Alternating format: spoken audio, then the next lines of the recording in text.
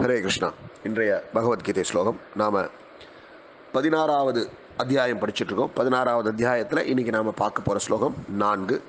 இதுக்கு முன்னாடி ஒன்று ரெண்டு மூணு மூன்று ஸ்லோகங்கள் பகவான் சொன்னார். அந்த மூன்று ஸ்லோகத்தையும் ஒரே கருத்தாக பார்த்தோம். அந்த ஸ்லோகத்தை மட்டும் படிச்சிடலாம். படிச்சுட்டு இன்றைக்கி ஐந்தாவது நான்காவது ஸ்லோகம் பார்த்துடலாம். இந்த மூன்று ஸ்லோகங்களில் பகவான் என்ன சொன்னார்னா புருஷோத்தமரான முழுவதற் கடவுள் கூறினார் அச்சமின்மை தனது நிலையை தூய்மைப்படுத்துதல் ஆன்மீக ஞானத்தை விருத்தி செய்தல் தானம் சுய கட்டுப்பாடு யாகம் யாகம் செய்தல் வேதங்களை கற்றல் தவம் எளிமை அகிம்சை வாய்மை கோபத்திலிருந்து விடுபட்ட தன்மை துறவு சாந்தி குற்றம் காண்பதில் விருப்பமின்மை எல்லா உயிர்களின் மீதும் கருணை பேராசையிலிருந்து விடுபட்ட தன்மை. கண்ணியம் வெட்கம் மன உறுதி வீரம் மன்னிக்கும் தன்மை தைரியம் தூய்மை பொறாமையின்மை மரியாதையை எதிர்பார்க்காமல் இருத்தல் ஆகிய தெய்வீக குணங்கள் பரதனின் மைந்தனே தெய்வீக இயல்புடைய உன்னதமான மனிதரை சார்ந்தவை. இந்த பதினாறாவது அத்தியாயத்தில் பகவான் தெய்வீக இயல்பு அசுர இயல்பு ரெண்டு விஷயத்த சொல்ல போகிறார் ஒருத்தர் நான் வந்து ஆன்மீகமாக இருக்கேன். இல்லை நான் ரொம்ப ஆன்மீகவாதி. நான்லாம் வந்து ரொம்ப சுத்தமானவன் அப்படின்னு ஒருத்தர் சொன்னார்னா பகவான் என்ன சொல்கிறார் இதுக்கு முன்னாடி வர்ணித்த இருபத்தாறு குணங்கள் யார்கிட்ட இருக்கோ அவன் தான் தெய்வீக இயற்கை இயற்கையுடைய மனிதர்களின் இயல்புன்னு சொல்லிட்டார். ஸோ நமக்கு இதில் எத்தனை இருக்குது நம்ம புரிஞ்சுக்கணும். இல்லாத நம்ம வளர்க்க முயற்சி பண்ணணும். இப்போ இந்த ஸ்லோகத்தில் நாலாவது ஸ்லோகத்தில் என்ன சொல்ல போகிறாருன்னா அசுர இயல்புகள் யார்கிட்ட இருக்கும் இது ரொம்ப டீட்டெயிலாக சொல்ல வேணாம். நல்ல விஷயத்த சொல்லணும்னா டீட்டெயிலாக சொல்லணும். கெட்ட விஷயத்த சொல்லணும்னா ஒன்று போதும். சுத்தமான ஒரு பால் இருக்குது அந்த ஒரு பாலில் ஒரு சொட்டு விஷம் விழுந்தால் முடிஞ்சிடுச்சு அவ்வளோதான் தூய்மையான தண்ணியில் கொஞ்சோடு அழுக்கு சேர்ந்தால் போதும். அந்த மாதிரி நல்லதை விவரிக்க பகவான் இருபத்தாறு குணங்களை சொன்னார். ஆனால் இங்கே அந்த தீய விஷயங்களை சொல்கிறதுக்கு ஒரு ஒரு ஒரு நாலஞ்சு மட்டும் சொல்கிறார் ஸோ என்ன ஸ்லோகத்தில் என்ன சொல்கிறார் பார்க்கலாம். பதினாறாவது அத்தியாயம் நாலாவது ஸ்லோகம் ஸ்லோகம் படிக்கிற. தம்போ தர்போ பிமான்ஷ குரோதா பாருஷ்யம் ஏவச்சா அக்யானம் சாபிஜாதஸ்ய பாரதா சம்பதம் ஆசுரிம் இந்த ஸ்லோகத்துக்கு ஒவ்வொரு வார்த்தைக்கு அர்த்தம் பார்க்கலாம். தம்பா தற்பெருமை. தர்பா அகந்தை அபிமான வீணபிமானம். சா மேலும் குரோதா கோபம். பாருஷ்யம் கொடூரம் ஏவ நிச்சயமாக. ச மற்றும் அக்யானம் அறியாமை. ச மற்றும் அபிஜாதஸ்ய பிறந்தவனின் பாரத பிரிதாவின் மைந்தனே சம்பதம் குணங்கள். ஆசுரியும் அசுர இயற்கையின். இந்த ஸ்லோகத்துக்கு மொழிபெயர்ப்பும் பொருள் உரையும் வழங்கியவர் பக்தி வேதாந்த சுவாமி ஜெகத்குரு சில பிரபுபாதர் மொழிபெயர்ப்பு. பிரிதாவின் மைந்தனே தற்பெருமை அகந்தை வீண் அபிமானம் கோபம் கொடூரம் அறியாமை ஆகியவை அசுர இயல்புடையவர்களின் குணங்களாகும். ஸோ இங்கே என்ன விவரிக்கிறார் ஏழு குணங்களை சொல்கிறார் என்ன? ஒன்று தற்பெருமை அகந்தை வீணபிமானம் கோபம் கொடூரம் அறியாமை. இந்த ஏழு சொல்லிட்டா இது அசுர இயல்பு அவ்வளோதான் இந்த ஏழும் யார் யார்கிட்ட இருக்குது நாம் நம்மளையே சோதித்து பார்த்துக்கணும். முதல் வார்த்தை தற்பெருமை. ஏதோ ஒரு சின்ன காரியத்தை செஞ்சால் கூட அதை தோல் தட்டி தோல் தட்டி மார் தட்டி மார் தட்டி பல பேர்கிட்ட இதை பற்றி பேசிக்கிட்டே இருப்போம். நான் வந்து சார் அதை பண்ணேன் சார் நான் வந்து இதை பண்ணேன் சார் இப்படி சார் நான் இப்படி சார் அப்படி சார். இது எல்லாருக்கும் இருக்கக்கூடிய இயல்பு. என்ன காரணம் அப்படின்னா இந்த மாதிரியே நம்ம வந்து தற்பெருமையோடு வாழ்ந்துட்டுருக்கோம் அப்படின்னா நான் ஒவ்வொன்றா வரேன். அதுக்கப்புறம் மூணா மூணாவது ஸ்லோ மூணாவது குணத்தில் பகவான் சொல்கிறார் தற்பெருமை எல்லாருக்கும் இருக்குது யாராவது சில பேர் வந்து இந்த கவர்மெண்ட் ஆஃபீஸில் வேலை பார்த்துருப்பாங்க. இப்போ ரிட்டையர்டாக இருப்பாங்க. அவங்க வந்தவங்ககிட்டலாம் யார் வந்தாலும் சார் நான் வந்து போஸ்டிங்கில் இருக்கும்போது பார்த்தீங்கன்னா அப்படின்னு ஒரு விஷயத்த சொல்லுவாங்க. இந்த முதுமை வளர்ந்ததுக்கப்புறம் நமக்கு ஓய்வு எடுக்க வந்ததுக்கப்புறம் நம்ம வாழ்க்கையில் சாதிச்சோம்னு நினச்சிட்டு இருக்கக்கூடிய இந்த அற்பத்தனமான விஷயத்தெல்லாம் திரும்ப திரும்ப திரும்ப திரும்ப பேசுவோம். தற்பெருமை. அப்படி இல்லையா? யாராவது ஒருத்தர் வந்து சார் நீங்கள் வந்து அப்படி பண்ணிட்டீங்க சார். இப்படி பண்ணிட்டீங்க சார். சொன்னால் நம்மளை அறியாமல் வரும். சரி இது அதில் தான் வருதா? இது ஆன்மீகத்துலேயும் வரும். நீங்கள் ஒரு பகவத்கீதை இப்போ அடியேனே ஒரு பகவத்கீதை ஒரு விஷயத்த சொல்கிறேன் யாராவது ஒருத்தர் நாலு பேர் வந்து சார் நல்லா இருக்கு சார். உங்க நீங்கள் சொல்கிற பகவத்கீதை எனக்கு ரொம்ப பிடிச்சிருக்கு சார். நல்லா க்ளீனாக சொல்கிறீங்க சார். அப்படி இப்படின்னு சொன்னோன்னே நம்மள அறியாமல் ஒரு தற்பெருமை வரும். நம்மள அறியாமல் நமக்குள்ளே ஒரு ஒரு ஒரு தற்பெருமை வரும். ஓ நம்ம நல்லா சொல்கிறோமா இது ஆன்மீகத்தை இருக்கக்கூடிய ஒருத்தருக்கே இருக்குன்னா இப்போ ஒரு மற்ற விஷயங்கள் இருக்கக்கூடிய ஒரு தொழிற்சாலையில் வேலை பார்க்குறவன் ஒரு வியாபாரி இல்லை ஒரு நடிகன் ஒரு அரசியல்வாதி இவங்களுக்குலாம் எவ்வளோ இருக்கும்? யோசிச்சு பாருங்க. ஆனால் பகவான் என்ன சொல்கிறாரு இது அசுர இயல்புன்னு சொல்கிறார் நீ அதுலேருந்து போறியோ போலையோ அட்லீஸ்ட் இது தப்புனா நீ உணர கற்றுக்கணும் தற்பெருமை கூடாது. நம்மளை நம்மளே பெருமை பீத்திக்க கூடாது. நம்மளை அறியாமல் வரும் அது உள்ளுக்குள்ளே இருக்கும். ஏன்னா எத்தனையோ ஜென்மமாக வந்துட்டு இருக்கு. இன்னைக்கு தான் பகவானுடைய கிருபை நமக்கு கிடைச்சிருக்கு. பகவானுடைய அனுகிரகம் கிடைச்சிருக்கு. ஆச்சாரனுடைய ஆசீர்வாதம் கிடைச்சிருக்கு. இதெல்லாம் தப்புன்னு நமக்கு கேட்க ஆரம்பிச்சிருக்கோம். கொஞ்சம் கொஞ்சமாக அதை குறைக்கணும். எப்போ குறையும்? ஸோ தற்பெருமை. முதல்ல தற்பெருமை வரும். தற்பெருமை வந்தால் அகந்த வந்துடும் அடுத்து அகந்த. ஏய் என்னை விட பெரிய ஆள் யாரும் கிடையாது நான் பெரிய ஆள். நீ யாரா என்கிட்ட இப்படி பேசுறது? நம்மள அறியாமல் ஒரு அகந்த ஒரு கர்வம் வரும். அகந்தேனா கர்வம் ஒரு கர்வம். முதல்ல தற்பெருமை வரும்.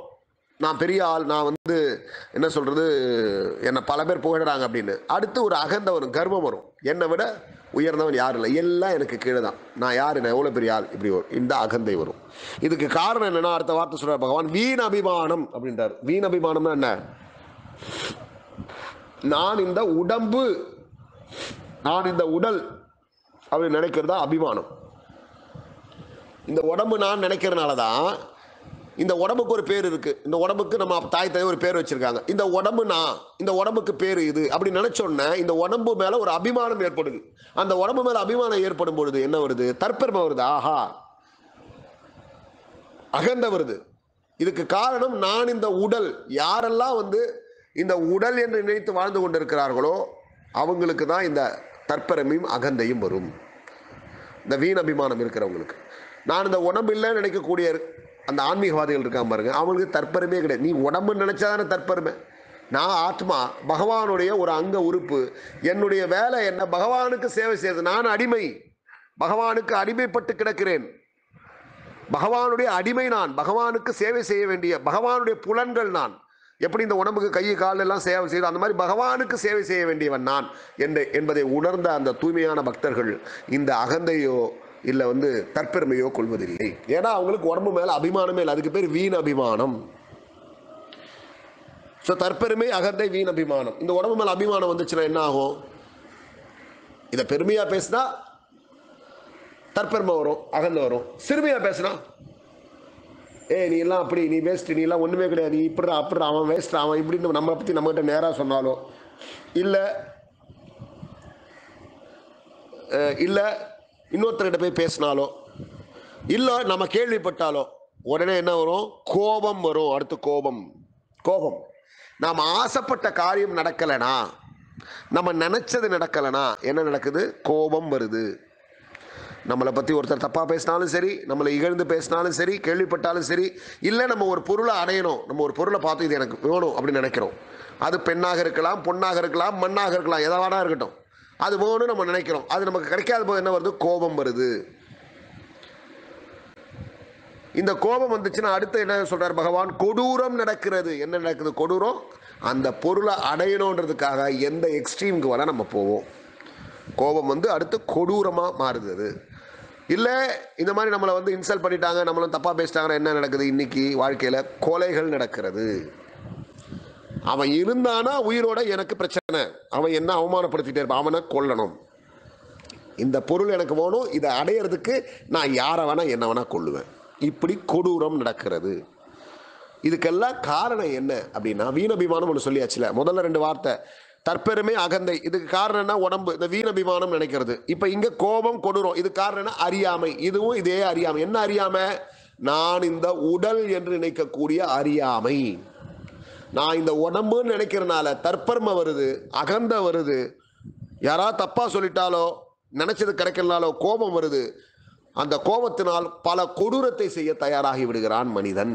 எவ்வளோ படிக்கிறோம் சின்ன சின்ன குழந்தைங்க குழந்தைங்களெல்லாம் வந்து இன்னைக்கு வந்து நாடு எப்படி ஆயிடுச்சு மக்கள் எவ்வளவு கருங்கல் ஆயிட்டான். டெய்லி நியூஸில் பார்க்குறோம் சின்ன குழந்தைய வந்து தப்பான விஷயத்தை பண்ணி கொண்டு இருக்காங்க இதெல்லாம் எப்படி நடக்குது இன்னைக்கு? இதுக்கெல்லாம் இந்த மாதிரி அசுர இயல்பு தான் காரணம். முதல் காரணம் இதுக்கு முன்னாடி பகவான் சொன்ன அந்த இருபத்தாறு குணங்கள் நமக்கு இல்லாதது காரணம். சரி குணமாவது உனக்கு இல்லை. நீ மனுஷனாவது வாழறியா? இல்லை. என்ன இருக்கோ அசுரனா வாழறோம். தற்பெருமை அகந்த வீணபிமானம் கோபம் கொடூரம் அறியாமை. அறியாமை என்ன அறியாமை? நான் இந்த உடல் என்று நினைக்கக்கூடிய அறியாமை. பகவான் கிருஷ்ணரே முழுமுதற் கடவுள் அவர்தான் எஜமானர் நான் தாசன். அவருக்கு சேவை செய்கிறதா என்னுடைய அந்த வாழ்க்கையோட லட்சியம்ன்ற அந்த அறியாமை. தெரியாதனால வரக்கூடிய அறியாமை. ஸோ இந்த அறியாமையின் காரணத்தினால் பகவத்கீதை என்ற ஞானம் இல்லாத ஒரு காரணத்தினால் இன்னைக்கு அரசியல்வாதிகள் நம்மக்கிட்ட இந்த பகவத்கீதையை கொண்டு சேர்க்காம சமஸ்கிருதத்துக்கும் தமிழுக்கும் சண்டையை மூட்டி விட்டு இங்கிலீஷ்காரன் பண்ண வேலை சமஸ்கிருதத்துக்கும் ஸ்- தமிழுக்கும் சண்டையை மூட்டி விட்டு திருக்குறள் தான் சிறந்தது பகவத்கீதை இல்லை. ஏ பகவத்கீதையுடைய ஒரு பர்சன்ட் இருக்கக்கூடிய அந்த ஞானம் தான் திருக்குறளில் இருக்குது திருவள்ளுவர் இதை உணர்ந்து பகவத்கீதையை உணர்ந்து திருக்குறள் என்ற மூலையை நமக்கு கொடுத்தார். நாம் என்ன பண்ணிட்டோம்? பகவத்கீதை தூக்கி ஓரமாக வச்சுட்டு இது சிறந்ததா அது சிறந்ததான்னு சண்டை போட்டுட்டுரும் இது அறியாமை.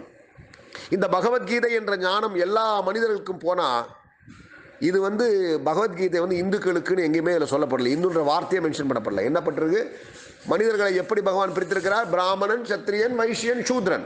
இந்த பிராமணன் சத்திரியன் வைஷ்யன் சூத்ரனில் கிறிஸ்தவனும் வருவான் இஸ்லாமியனும் வருவான் எல்லாரும் வருவான். ஏன்னா பகவான் குணத்தை வச்சு சொல்கிறார் பிரம்மத்தை உணர்ந்தவன் பிராமணன் நாட்டை ஆளக்கூடியவன் சத்திரியன் வியாபாரத்தை செய்யக்கூடியவன் வைஷ்யவன் வைஷ்யன். தொழில் தொழில் செய்யக்கூடிய அந்த லேபர் வந்து சூத்ரன். இதில் எல்லாரும் தானே இருப்பான் ஏன் கிறிஸ்டியனில் லேபர் இருக்க மாட்டானா? கிறிஸ்டியனில் வந்து பிஸ்னஸ் பர்சன் இருக்க மாட்டானா? கிறிஸ்டியனில் வந்து அட்மினிஸ்ட்ரேஷனில் இருக்கக்கூடிய அரசியல்வாதி இருக்க மாட்டானா? கிறிஸ்டியனில் சயின்டிஸ்ட் இருக்க மாட்டானா? அதே மாதிரி இஸ்லாமில் இருக்கக்கூடிய சயின்டிஸ்ட் இருக்க மாட்டானா? அப்துல் கலாம் சயின்டிஸ்ட் பிராமணன் அவர். அடுத்து ஷத்ரியன் இன்றைக்கி எத்தனையோ முஸ்லீம் லீக் கட்சிகள் இருக்குது முஸ்லீம் தலைவர்கள் இருக்காங்க. பிஸ்னஸ் இன்றைக்கி எவ்வளோ முஸ்லீம்? இன்றைக்கி சவுதி அரேபியானா பிஸ்னஸ் தான் இருக்காங்க. லேபர் எத்தனையோ லேபர் அடியனோட வீட்டில் எப்போவுமே வந்து டேப் ப்ராப்ளம் அந்த ப்ராப்ளம் இது வந்தாலும் வந்து முதல் வேலை செய்யக்கூடிய ஒரு இஸ்லாமியர். ஸோ இஸ்லாமிய சமூகத்திலும் சரி கிறிஸ்துவ சமூகத்திலும் சரி பிராமணன் சத்ரியன் வைஷ்யன் சூத்திரன் இருக்கான் என்ன அங்கே scientist administrative people business class people labour class people சொல்லும்போது அது ஜாதியாக தெரில ஆ? ஒரு என்ன சொல்கிறது ஒரு ஃபேக்ட்ரியில் வந்து ஒரு சயின்டிஸ்ட்டு ஒரு அட்மினிஸ்ட்ரேட்டிவ் பீப்புளு ஒரு பிஸ்னஸ் மார்க்கெட்டிங் பீப்புளு ஒரு லேபர் பீப்புள் இருக்கும்போது அது அந்த அது வந்து அது வந்து என்ன சொல் நவீனமாக தெரியுது. ஆனால் இதே சாஸ்திரத்துலேருந்து பிராமணன் சத்திரிய வைஷ்ணன் சூத்திரன் ஆ நீங்கள் ஜாதியை பேசுகிறீங்க ஸோ அந்த மாதிரி இந்த பகவத்கீதை என்ற ஞானம் இல்லாத ஒரே காரணத்தினால்தான் மக்கள் தற்பெருமையுடனும் அகந்தையுடனும் வீண் அபிமானத்துடனும் கோபத்துடனும் கொடூரத்துடனும் அறியாமையுடன் வாழ்கிறார்கள். இது அசுர சுபாவம் அப்படின்னு பகவான் சொல்லிட்டார். இனி வரக்கூடிய ஸ்லோகங்களில் தெய்வீக குணங்களும் அசுர குணங்களை பற்றி ரொம்ப டீட்டெயிலாக பேச போகிறார் பொறுமையாக கேட்போம். வாழ்க்கையில் நாமும் அந்த இருபத்தாறு குணங்களை அடைவதற்கான பாதையை நோக்கி ஆச்சாரியரோட அனுகிரகத்தோட குருவோட நிழலில் போகிறதுக்கு முயற்சி பண்ணுவோம். இன்றைய நாள் நல்ல ஒரு நாள் அமையணும். ஹரே கிருஷ்ண மகாமந்திர சொல்லி நாளை தூங்கலாம் ஹரே கிருஷ்ண ஹரே கிருஷ்ண கிருஷ்ண கிருஷ்ண ஹரே ஹரே. ஹரே ராம ஹரே ராம ராம ராம ஹரே ஹரே. கிரந்தராசிமத் பகவத்கீதா கீஜ ஜெகத்குரு ஸ்ல பிரபுபாத் கி குருதேவ் கி